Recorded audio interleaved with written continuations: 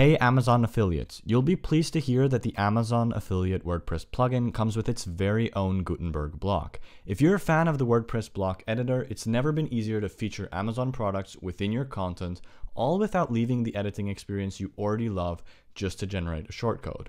So, without further ado, let's show you around. As with any Gutenberg block, there are a few ways of adding it.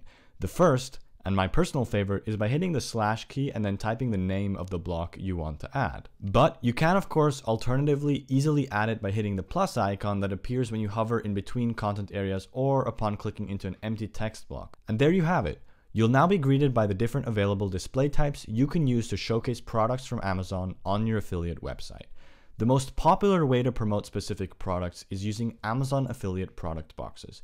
These are convenient, easy to insert sections with information about the product you're including in your content that automatically update as the information on Amazon changes, such as product image, price, and more.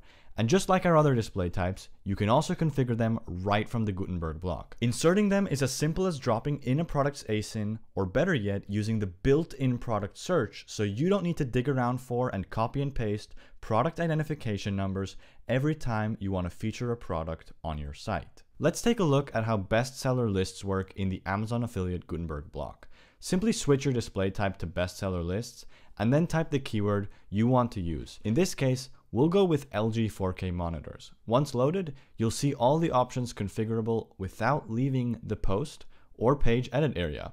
At this stage, you can easily customize the way products are ordered, filter out specific products, and more. All of which is possible right from the sidebar here to make the content workflow for your Amazon affiliate sites smoother than ever. And last but certainly not least, let's take a look at how the comparison table display type works when using the Amazon affiliate block.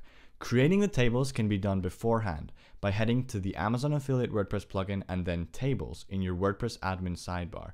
And once configured and saved, you now no longer need to head back here to dig around for shortcodes. You can simply drop in the block as we did earlier, select comparison table as the display type, and then select the comparison table you wish to insert. To get started or learn more, visit getaawp.com. And of course, if you have absolutely any questions about getting up and running, feel free to get in touch. We're always here to help.